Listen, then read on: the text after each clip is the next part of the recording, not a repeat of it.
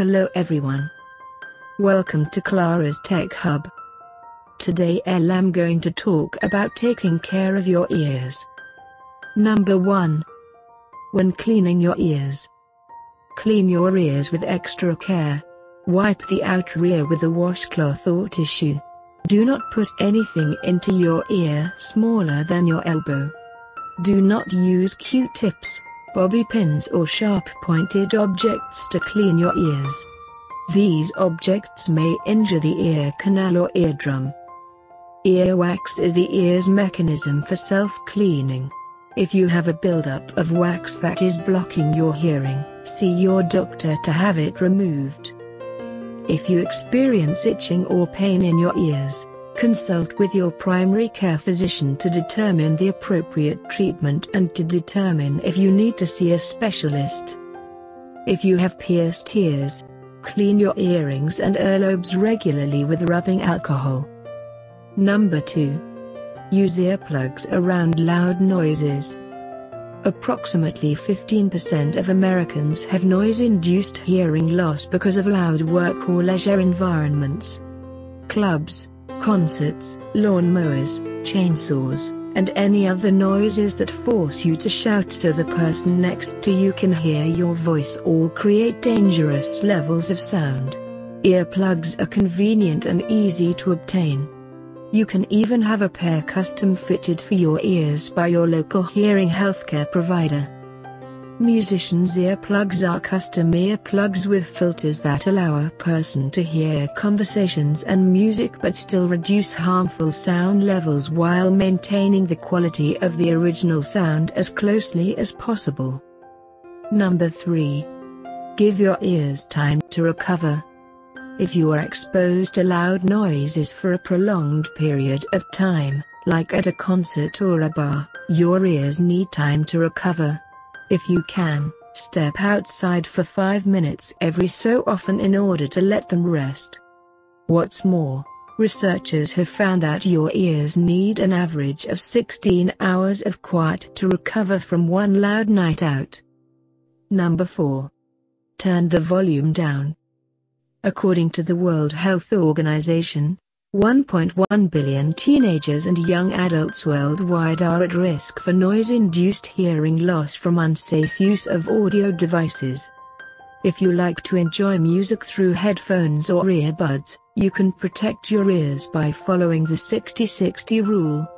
The suggestion is to listen with headphones at no more than 60% volume for no more than 60 minutes a day. Earbuds are especially dangerous, as they fit directly next to the eardrum. If possible, opt for over-the-ear headphones. Don't forget that any loud music, not just music played through headphones, presents a risk for noise-induced hearing loss. If you're hosting a social event, keep the music at a volume which won't force people to shout in order to hold a conversation. Number 5. Avoid any physical damage. Putting sharp things into your ears could easily harm your ears, obviously. Scratching your ear canal for any reasons whatsoever is never a good idea. You could harm your ears and potentially damage your hearing health beyond restoring.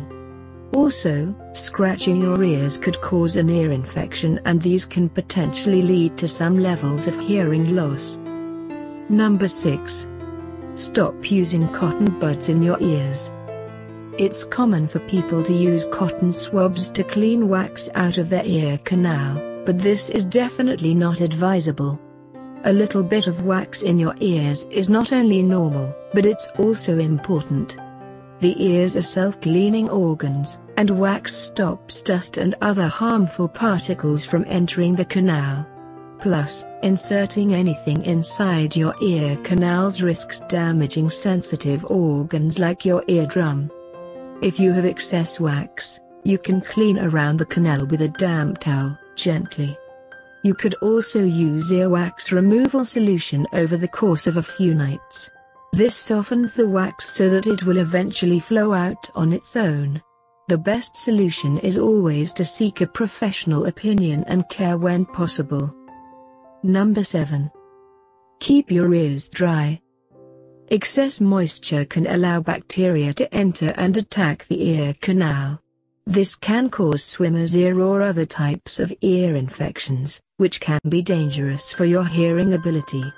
Be sure you gently towel dry your ears after bathing or swimming. If you can feel water in the ear, tilt your head to the side and tug lightly on the earlobe to coax the water out. You can also ensure that your ears stay dry and healthy by using custom-fit swimmer's earplugs, which block water from entering the ear canal. They're great for adults and kids alike, and they work wonders in preventing swimmer's ear. Make an appointment with your local hearing health professional to get fitted. Number 8. Get regular checkups. Ask your primary care physician to incorporate hearing screenings into your regular checkups. Because hearing loss develops gradually, it's also recommended that you have annual hearing consultations with a hearing healthcare professional. That way, you'll be more likely to recognize signs of hearing loss and take action as soon as you do. Taking action is important because untreated hearing loss, besides detracting from quality of life and the strength of relationships, has been linked to other health concerns like depression, dementia, and heart disease. Number 9. Take medications only as directed. Certain medications, such as non-steroidal anti-inflammatory drugs, NSAIDs, like aspirin, ibuprofen and naproxen, can sometimes contribute to hearing loss. Discuss medications with your doctor if you're concerned that they'll impact your hearing ability and take them only as directed. Number 10. Manage stress levels. Stress and anxiety have been linked to both temporary and permanent tinnitus, a phantom ringing in the ears.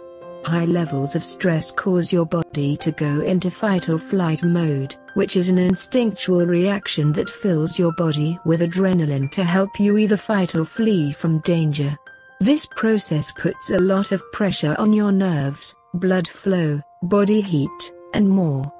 It's commonly thought that this pressure and stress can travel up into your inner ear and contribute to tinnitus symptoms. Thank you for watching. Hello everyone. Welcome to Clarah's Tech Hub.